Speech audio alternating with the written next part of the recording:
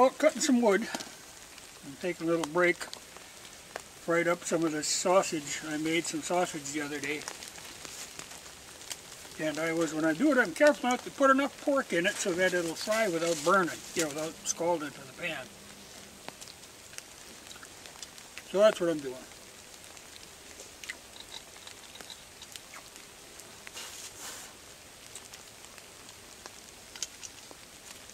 And it's raining, and the dog likes that sausage. Here, mule. I'll give you a... No, no, no, no, back off, mule. Here, give you a little hunk of bread.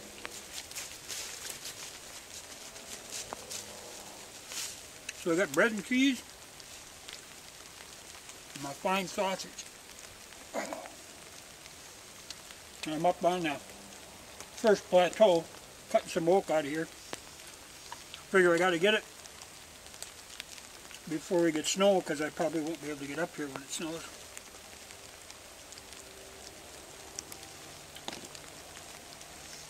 So, take a little break.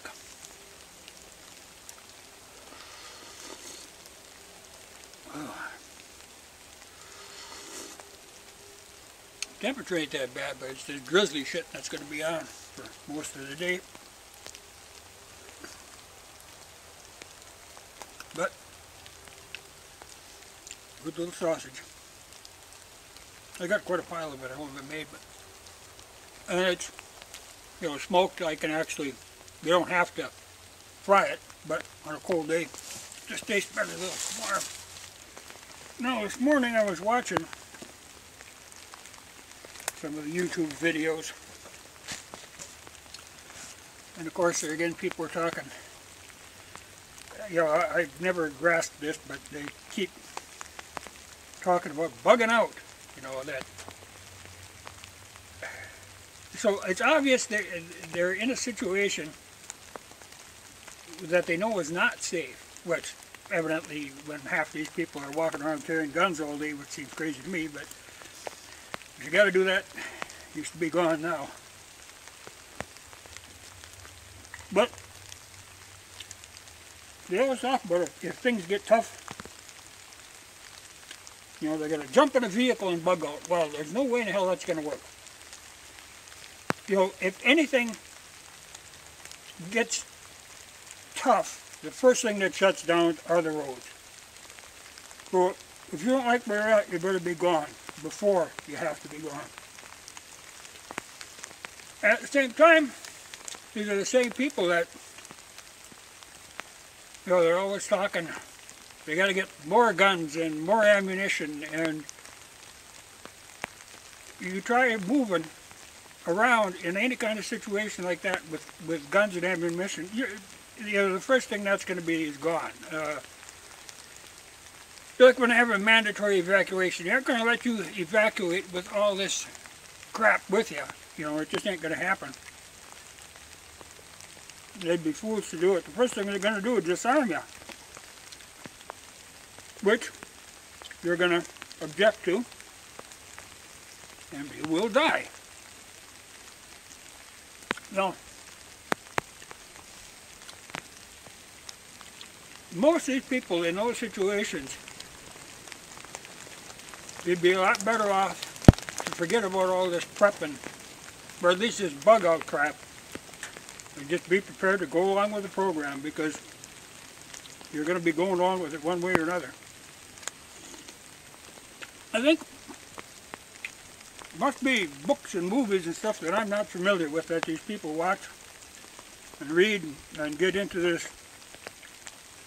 theory that they're going to travel the country you know, armed to the teeth,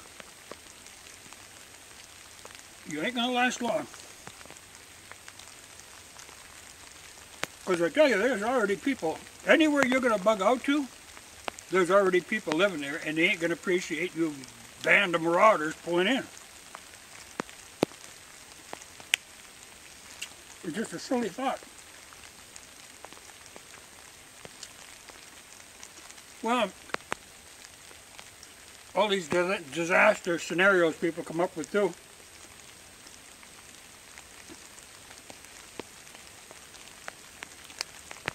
You know, like I ain't afraid of an asteroid and uh, all this.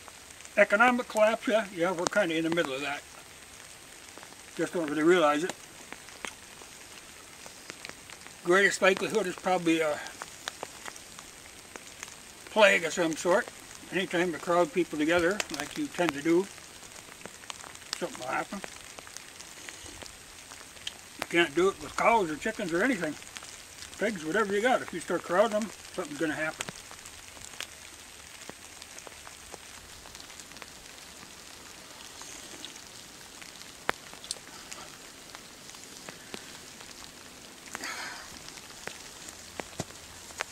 But not too much of my concern unless some of you bug-out people try bugging out in this area. Ain't gonna last. Well, that gets to the other thing. You know, you people, you're buying all this crap. Actually, I think in a way that's forestalling the economic collapse because we're doing so much business in prepper crap. You know, gimmicky little endless amounts of knives that are horribly impractical, guns that are horribly impractical. We're a hell of a business in handguns.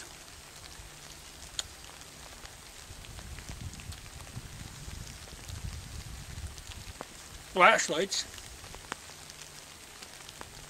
Horribly, horribly bright flashlights. Which, you know, eat up batteries which aren't replaceable. At the same time, a flashlight works both ways. It shows you what's in front of you, but also shows what's in front of you where you are.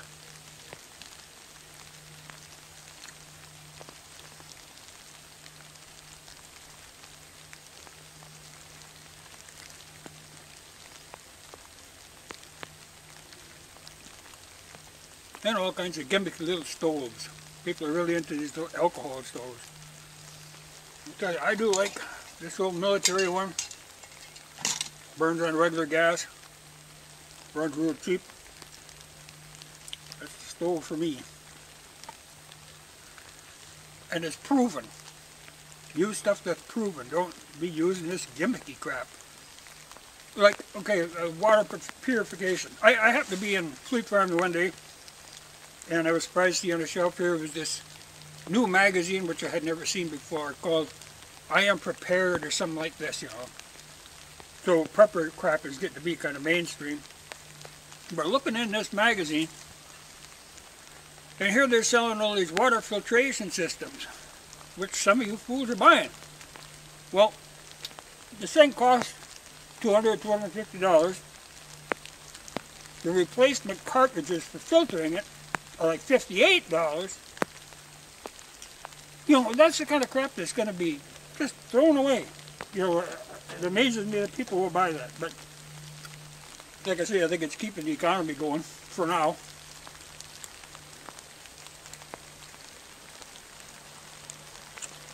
I don't know, I gotta quit watching them channels with preppers on them. It just pisses me off.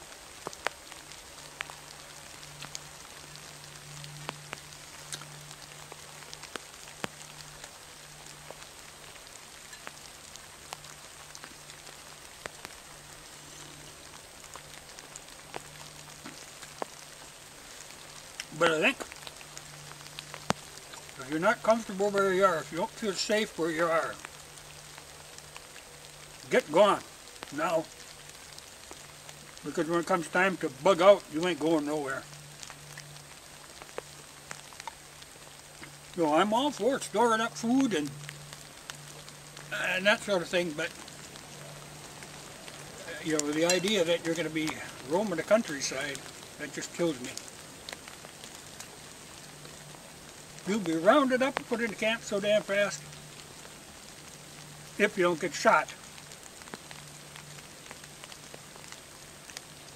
But you live in this fantasy world.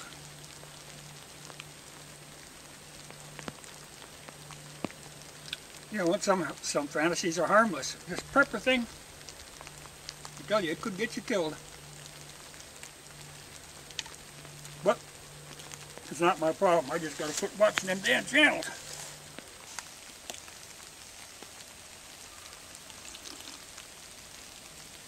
And what I was saying about preppers and their fascination with impractical knives. So I've often wondered how many unboxings we don't get to see when people have hacked themselves with their knives trying to open these boxes. The most useful knife, regular Swiss Army knife. Saves my ass many times a day. But people buying all these where they can flick them out real fast. You know, it don't take long to open a knife. But it's like they're going to defend themselves with this knife. You know, uh, uh, it's like they think that they can, you know, fighting with a knife is an art that they don't have. I mean, they struggle, they struggle playing with a knife. And they're going to fight with this knife. You bet. Just silly bullshit. Just aggravates me, like I say, to see well, people living in fantasy.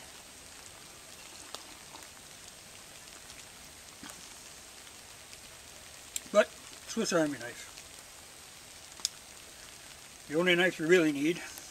I mean, I've got other knives. I got a bigger knife. I got a Ka-Bar that I use hunting, but I've butchered deer with a Swiss Army knife. You know, you don't need more than that. And there's one thing that people, I mean, they think it's cool to have this big knife they can flip out. But it's really still, it's socially unacceptable, especially where you people normally are living. You may think it looks cool, but it's very off-putting for any normal thinking human being when you start whipping this knife out. You know,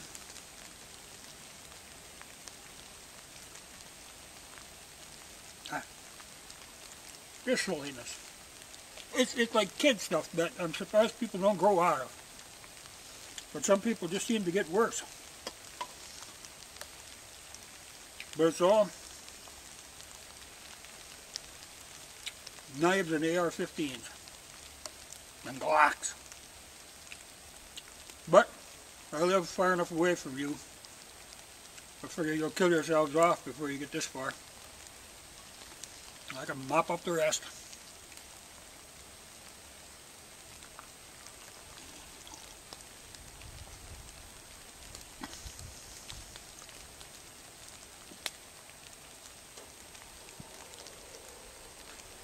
Biggest thing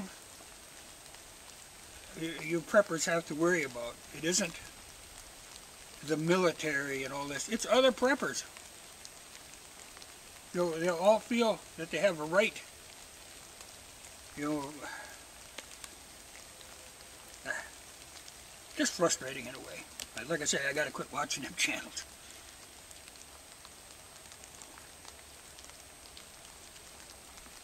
The whole knife thing, fighting with a knife is a skill that you guys don't have. I don't have. I have no intentions of fighting with a knife. I mean, that's a last ditch deal, boy. If you get somebody close enough to be fighting with a knife, you get a problem. But it's true of all, you know, the thing, you know, instead of hoarding up crap, you need to hoard up skills. Uh, even if you have the tools, if you don't have the skills to use the tools, they're just dead weight to you. You know, you really, you need to really learn how to do things, be comfortable doing things. And, you don't get that from watching videos. I, I know you, always think, oh, you, watch a video and think, now I know how to do this. It's no problem, I'm prepared. Well, you aren't. Video ain't going to do it. You, you have to live with it. You have to really understand it and be comfortable with it. Uh, and you aren't going to get that from a video.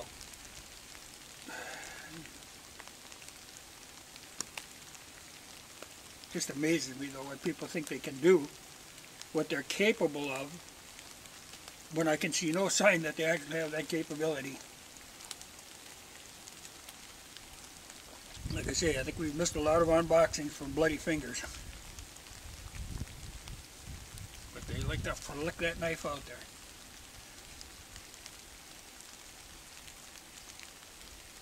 Yeah, that's nothing to me. It's not a big problem. It's a symptom of a big problem. But, like I say, I can live with it. You're far enough away from me.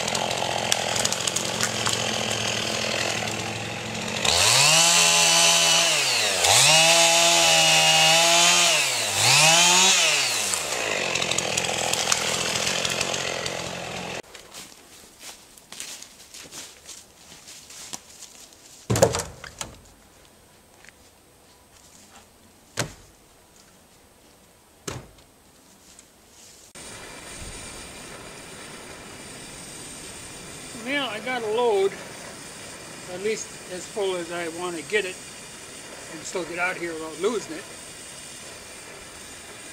So I'm going to have some tea and make my trip.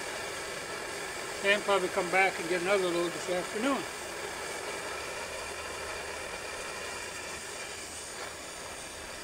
But I thought I would do, you know, I'm sure after what I said before, there's probably people chomp at the comment. Well, there isn't going to be comments on this one.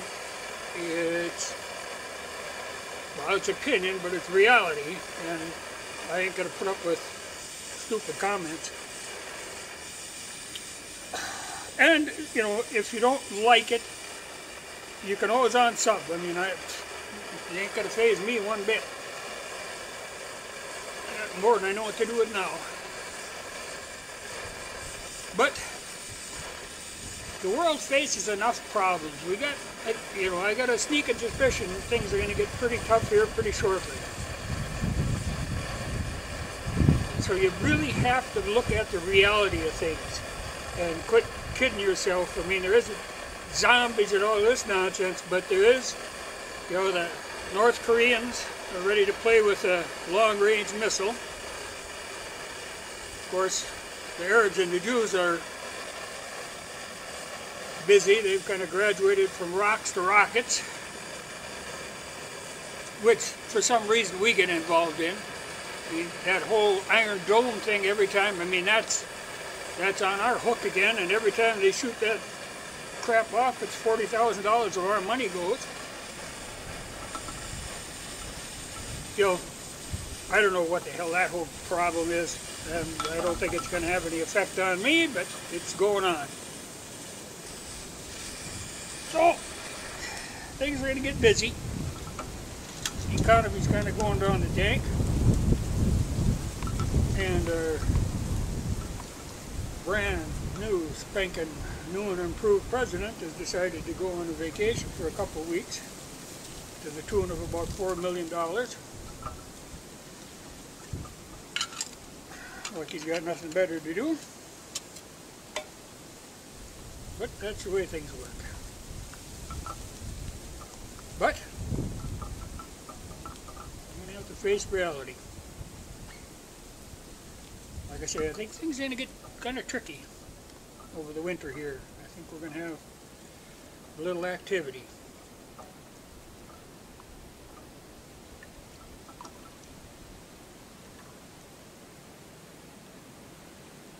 So, be ready for it.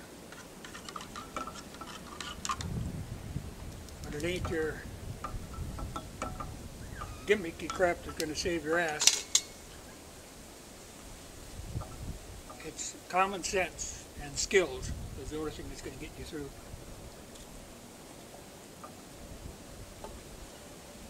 So work on them.